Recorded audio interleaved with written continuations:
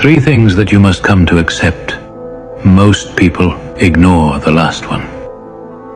1. Self-control is strength, and calmness is mastery. You have to get to the point where your mood doesn't shift based on the actions of someone else.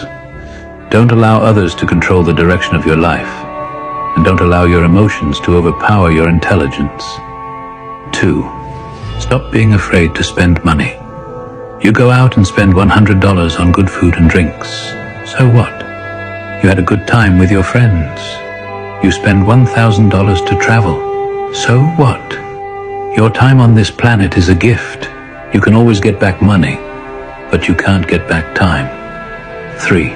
In three generations, everyone who knows you would be dead, including the people whose opinions stopped you from doing what you wanted to do all along.